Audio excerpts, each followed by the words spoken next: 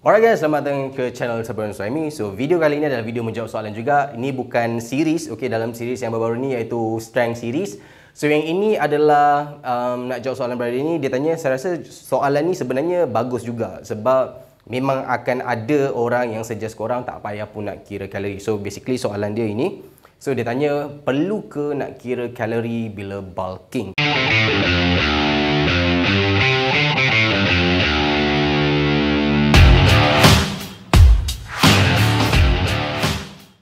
Okey, secara asasnya kira kalori adalah kedua-dua untuk dua-dua fungsi sama ada kita nak bulking ataupun kita nak cutting. So dua-dua ni kita perlu kira kalori. Itu secara asas. Tapi adakah boleh, adakah tak boleh? Okey, kat sini kita akan ada banyak mazhab. Okey, banyak mazhab ni bermaksud banyak pilihan dan banyak pendapat. Dan pendapat ni saya boleh katakan semuanya betul lah. Kalau korang jumpa 10 pendapat, korang tanya 10 orang, korang boleh dapat 10 pendapat yang berbeza. Tapi saya boleh cakap mungkin 90% semua tu pendapat tu adalah betul sebab itu adalah apa yang diorang dah buat dan apa yang berkesan untuk diorang.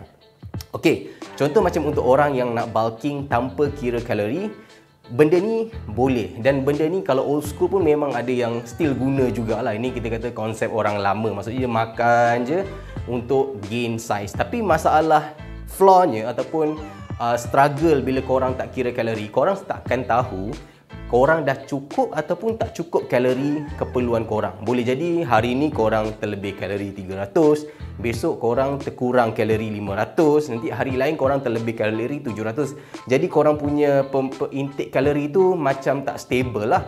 So bila tak stable maksudnya korang susah lah nak track korang punya consistency. Jadi untuk orang yang bulking, kira kalori dengan orang yang bulking tak kira kalori. Orang yang bulking kira kalori boleh katakan jauh lah dia boleh lagi cepat berbanding orang tak kira kalori sebab dia tahu nak track dia punya progress macam mana. So contohnya dia dah sebulan dia dah guna certain amount of kalori yang dia dah kira tapi berat badan dia tak naik. So dia tahu apa yang dia nak kena adjust.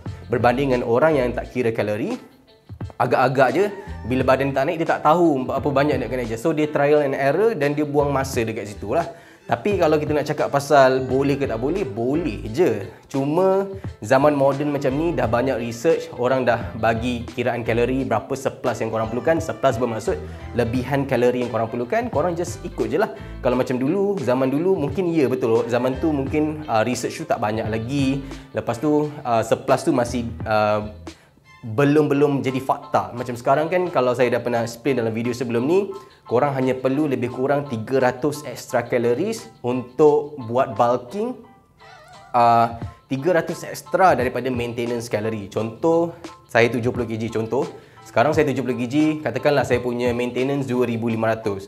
So saya perlu cuma 2800 sahaja untuk bulking. So anything lebih daripada tu cenderung untuk uh, contribute kepada fat storage. Maksudnya badan kita hanya perlukan extra 300. So ni ada ada research lah dan korang boleh check juga sama ada korang uh, percaya ataupun tak itu bergantung korang pilihan korang sendiri. Yang saya share ni hanya based on pengalaman sendiri dan juga apa yang saya baca. Kalau korang ada korang punya cara method sendiri dan berkesan lain daripada apa yang saya cakap, maksudnya itu pun baguslah. Sebab tu dalam fitness ni kita kena fleksibel sikit.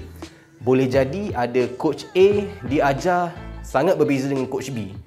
Saya boleh cakap dua-dua pun betul sebab dua-dua ni ada cara masing-masing lah. Dia macam masing setiap orang ada gerak seni silat dia masing-masing kan. Yang penting dia bawa hasil. Kecuali dia ajar benda yang membahayakan contoh dia ajar exercise yang membahayakan ke, cara diet yang boleh uh, merosak kesihatan ke, uh, yang itu of course lah kita kena buat kesedaran. Tapi kalau dalam fitness ni, saya rasa tak perlu nak berbalah lah kalau orang ni ajar berbeza daripada orang lain saya rasa ni benda yang kita kena sama-sama open minded and terima je. Yang penting benda tu bagi hasil kepada orang. Sebagai satu contoh eh, sebagai satu contoh mungkin ada coach kat luar sana yang still ajar jangan makan malam lepas pukul 6 petang kalau nak kurus. Walaupun dia cakap macam tu ada ramai orang lagi yang buat dan ramai orang berhasil dengan cara macam tu. Mungkin dia tahu saya dia tahu dia punya klien mungkin klien dia ni jenis suka snacking malam. Jadi uh, tak boleh kontrol malam. Jadi mungkin dia bagi approach yang macam tu lah. Tapi sebenarnya banyak je approach lain dan tak perlu pun nak buat macam tu. Tapi saya tak against pun dengan orang macam tu. Yang penting kita open minded lah. Semua pun okey je. Semua pun okey tak ada masalah pun. Benda tu very very small issue lah.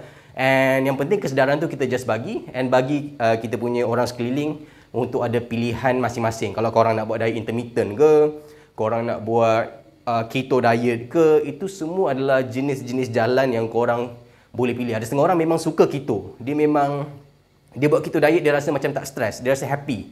So buat keto diet. Ada setengah orang dia lagi suka intermittent fasting dan buat intermittent fasting. Ada setengah orang mungkin dia tak suka fasting, dia rasa macam perut dia asyik lapar je dan buat je diet macam biasa. As long as semuanya dalam kiraan kalori korang. So ujung-ujung adalah tentang apa yang korang enjoy dengan apa yang korang boleh sustain untuk korang buat. Sebab benda ni adalah long term dan jadikan korang punya lifestyle. Dan boleh je contohnya bulan ni korang nak buat keto, bulan depan korang nak buat intermittent fasting, bulan satu lagi korang nak buat caveman diet, So korang just boleh lah korang nak enjoy kan Korang nak rasa nak tahu apa rasa beza dia. Sama juga macam training Ada bulan yang korang nak banyak superset Ada bulan yang korang nak banyak buat strength training Ada bulan yang korang nak hypertrophy je. So benda tu adalah benda yang kita just enjoy. Korang pilihan korang tak perlu nak berbala bab tu lah. And yeah so saya harap video ni menjawab soalan tu And thank you guys untuk tengok video ni. Jangan lupa untuk tekan like, subscribe. Jumpa korang dalam next video